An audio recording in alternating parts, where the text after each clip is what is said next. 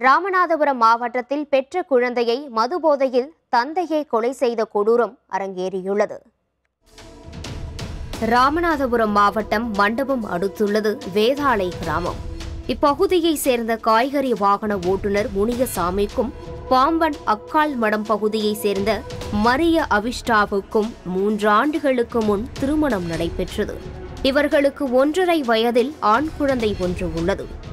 இந்த நிலையில் மரியா அவிஷ்டா தங்கையின் திருமணம் அக்கால் மடத்தில் நடைபெற்றது. மது மற்றும் கஞ்சா போதைக்கு அடிமையான முனியசாமி திருமணத்தன்று அளவுக்கு அதிகமாக குடித்துள்ளார். மேலும் போதையில் மனைவியிடம் வாக்குவாதத்தில் ஈடுபட அவர் குழந்தையை தன்னிடம் தருமாறு தகராறு செய்துள்ளார்.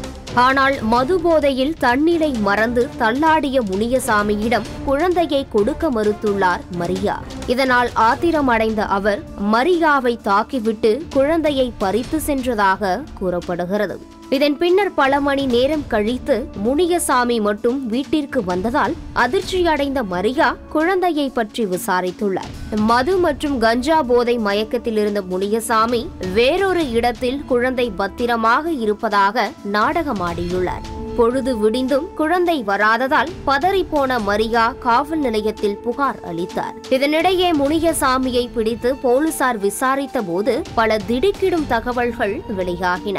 திருமண நிகழ்ச்சியில் தகராறு செய்துவிட்டு குழந்தையை தூக்கி வந்த முனியசாமி அதே பகுதியில் ரயில் தண்டவாளம் அருகே கஞ்சா அடித்துள்ளார்.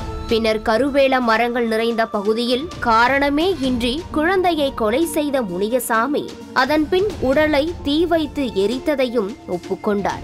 நிகழ்விடத்திற்கு விரைந்த போலீசார் பாதி எரிந்த நிலையில் இருந்த குழந்தையின் சடலத்தை கைப்பற்றி உடற்கூர்வாய்வுக்காக மருத்துவமனைக்கு அனுப்பி வைத்தனர். மது மற்றும் கஞ்சா போதைக்கு அடிமையானதால் முனியசாமி சைக்கோ மனநிலையில் இருந்ததும் விசாரணையில் தெரிய வந்துள்ளது இதற்கு முன் இரண்டு முறை சொந்த வீட்டையே தீ வைத்து கொளுத்த முயற்சி செய்த அவர் குழந்தை தெரியாமல் மண் சாப்பிட்டதற்காக தலைகீழாக தரையில் போட்டு அடித்ததாகவும் கூறப்படுகிறது.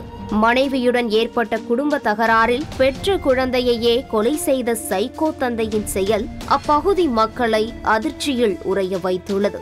வேந்தர் செய்திகளுக்காக ராமநாதபுரத்திலிருந்து ராஜ்குமார்.